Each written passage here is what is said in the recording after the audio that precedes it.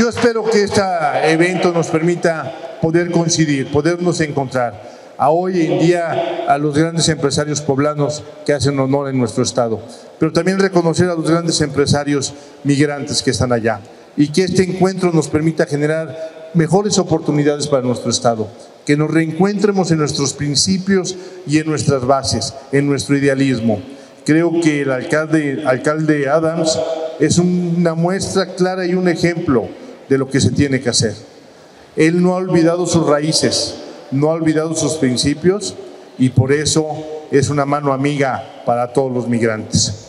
Hoy desde Puebla, empresarios, legisladores, presidentes municipales, ciudadanos, todos tenemos que seguir ese ejemplo. Y también decirles a nuestros paisanos migrantes que aquí está una mano extendida, que los esperamos con el corazón abierto y que estamos seguros que la Mixteca será, cuando ellos vengan, una región que, de otra, que tenga otro rostro que a todos los mexicanos que están en Nueva York específicamente sepan que Puebla y México es su casa. Y con ello decirles a todos y a cada uno de ustedes que tenemos retos pendientes ¿eh?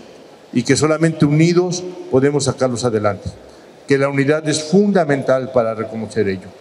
Que nuestros paisanos migrantes, empresarios y obreros están allá porque no tuvieron las mismas oportunidades que los que nos quedamos acá. Si no lo reconocemos, si no lo entendemos, si no lo valoramos, no tendremos bien puestos los pies en la tierra. Gobierno de Puebla. Gobierno presente.